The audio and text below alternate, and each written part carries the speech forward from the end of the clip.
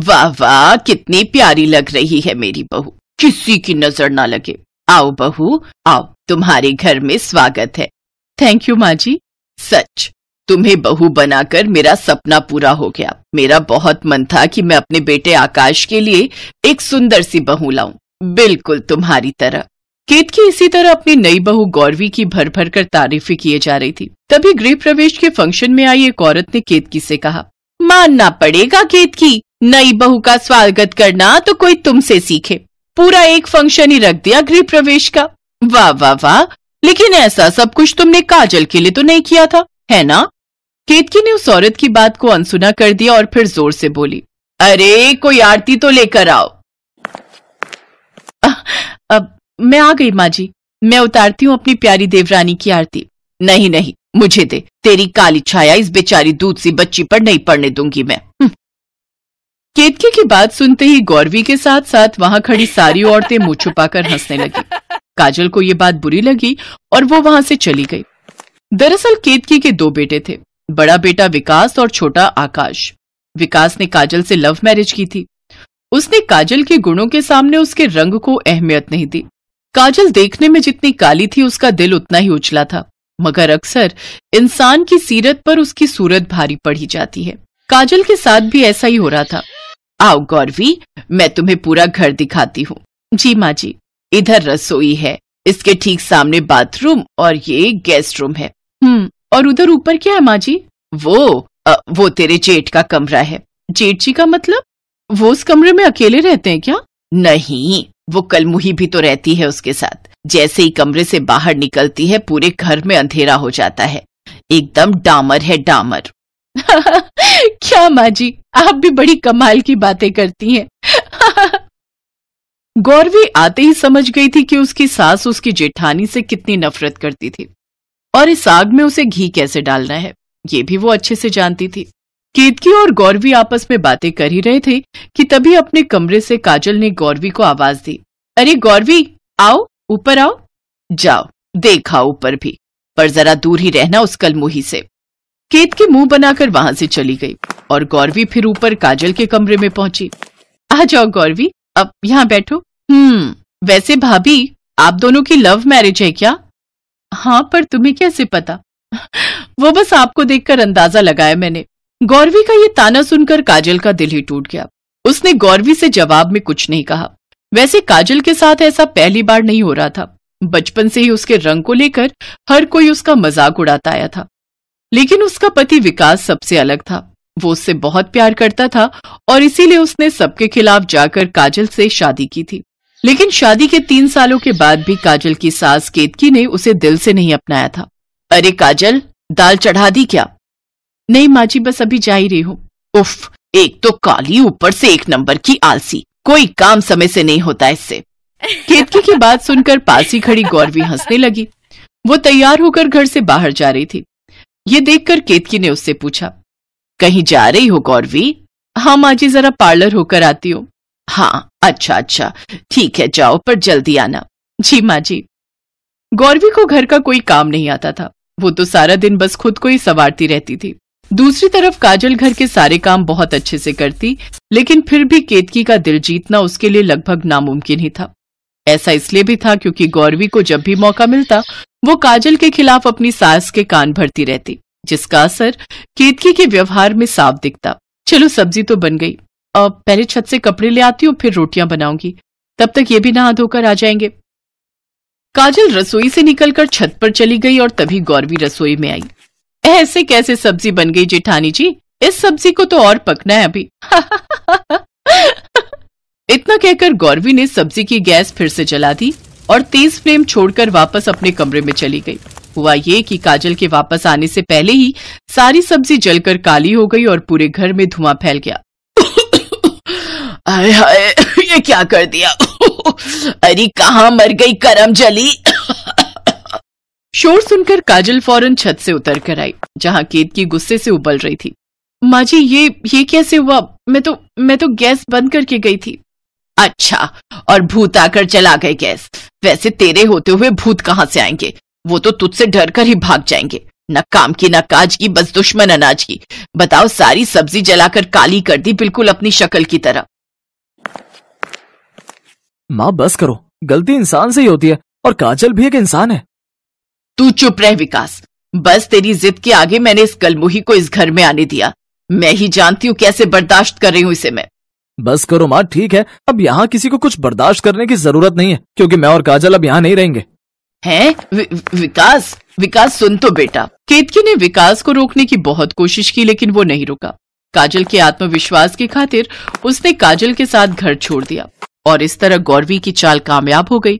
लेकिन फिर कुछ ही दिनों के बाद गौरवी बेटा खाना बना दिया क्या? नहीं माँ जी इन्हें बोल दिया है ये आते हुए पैक करवा लाएँगे। है, पर बाहर से क्यों? तुमने क्यों नहीं बनाया? ओहो माँ जी मैंने आज ही मैनिक्योर करवाया, फिर कैसे बनाती खाना? इतना कहकर गौरवी अपने कमरे में चली गई। काजल के जाने के बाद से ही केतकी की पूरी गृहस्थी बिगड़ने लगी थी, क्योंकि गौरवी तो कुछ करती नहीं थी। ऊपर से अब वो बदतमीजी पर भी उतर आई थी। गौरवी, जरा अचार ले आना। क्या माँ जी आप अभी इतनी भी बूढ़ी नहीं हुई हो कि खुद से अचार भी ना ले सको? मैं आपकी नौकर नहीं हूँ। उस दिन पहली बार केतकी को काजल की याद आई और उसे अपनी गलतियों का भी एहसास हुआ। हे भगवान, ये क्या कर दिया मैंने? काजल ने कभी मुझे कोई काम नहीं करने दिया। बिना किसी लालच के मेरी सेवा की और मैंने मैंने क्या किया? केतकी जानती थी कि अब उसे क्या करना है। वो फ़ौरन विकास और काजल के घर पहुँची और फिर, अरे माँ जी आप, अब आइए आइए ना। सुनिए, जल्दी आइए, देखिए कौन आया हमसे मिलने? मैं तुमसे मिलने नहीं, बल्कि तुम दोनों को वापस घर ले जाने आई हूँ, बेटा। लेकिन माँ जी, अब मैं, अब क्या हुआ? सब ठीक तो है ना? कुछ ठीक नहीं है, बेटा। ना हमारा घर और ना मैं। इतना कहकर केतकी वहीं बेहोश हो गई, और फिर कुछ दिनों के बाद। क्यों रे केतकी? अब ये क्या सूझी तुझे? एक ही बहू का दूसरी बार गृह प्रवेश? दूसरी बार नहीं, पहली बार इस घर में भी और मेरे दिल में भी।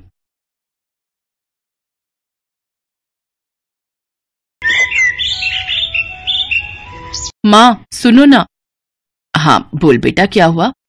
आज ना मेरे सारे दोस्त पार्टी करने जा रहे हैं। मैं भी उनके साथ जाना चाहती हूँ तो मुझे थोड़े पैसे दे दो ना।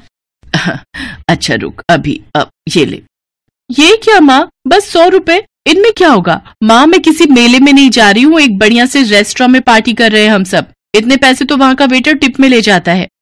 पायल, तुझे पता है कि इन सौ रुपयों को कमाने के लिए तेरे पापा को कितनी मेहनत करनी पड़ती है। बेटा, हमें उतना ही खर्च करना चाहिए जितनी हमारी चादर हो।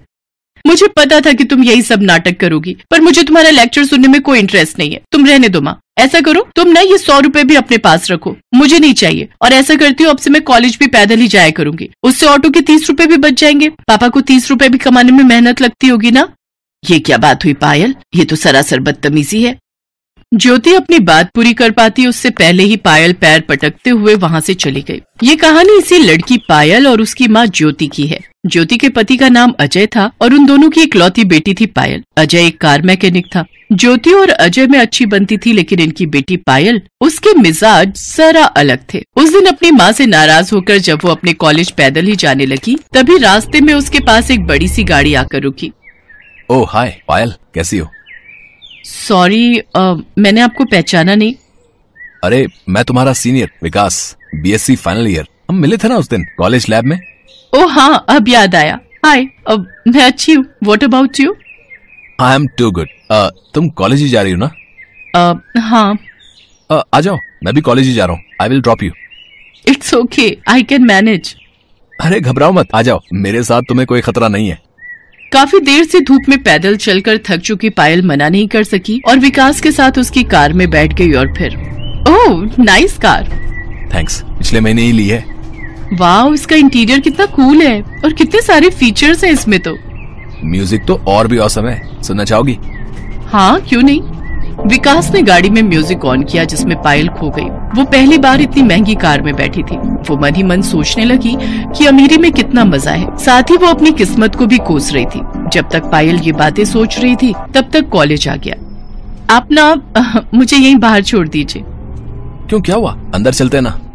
विकास कार को कॉलेज के अंदर ले गया और फिर पार्किंग में जब विकास के साथ पायल कार से उतरी तो वहाँ खड़े लड़के पायल को देखकर बोले hmm, विकास भाई के तो मज़े हैं यार। हाँ भाई कसम से। ज़िंदगी हो तो ऐसी यार रोज इसकी गाड़ी से नई लड़की उतरती है।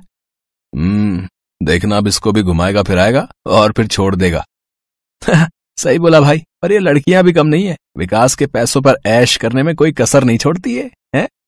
ये दोनों लड़के जो विकास के बारे में बात कर रहे थे वो विकास की क्लास में ही पढ़ते थे। और विकास को अच्छे से जानते थे। लेकिन इन सब बातों से अनजान पायल तो हैंडसम और रईस विकास की दीवानी हो चली थी। अब हर रोज ही विकास पायल को बस स्टॉप से पिक करता और फिर वो दोनों साथ में विकास की गाड़ी से ही कॉलेज जाते। फिर धीरे धीरे वो दोनों कॉलेज से बाहर भी मिलने लगे। पायल को लग रहा था कि विकास जैसे हैंडसम और अमीर लड़के से शादी करके उसकी किस्मत ही बदल जाएगी। लेकिन विकास के इरादे कुछ और थे। वो एक नंबर का मक्कार और अयाश लड़का था। वो सिर्फ़ अपने करोड़पति पिता के पैसों पर मौज करता था। एक दिन विकास की कार पंचर हो गई। और विकास ने जिस दुकान के बाहर गाड़ी लगाई वो पायल के पापा की दुकान थी। उन्होंने जैसे ही पायल को विकास के साथ उसकी गाड़ी में देखा तो फ़ौरन पायल पर भड़कते हुए बोले पायल तुम इस गाड़ी में क्या कर रही हो? और ये लड़का कौन है? प, प, पापा वो वो ये मेरे दोस्त हैं। मुझे घर छोड़ने जा रहे थे तभी हमारी म, म, मतलब इनकी गाड़ी पंचर हो गई। फ़ौरन उतरो गाड़ी से और अंदर जाकर बैठो। मैं तुम्हें घर छोड़कर आऊँगा।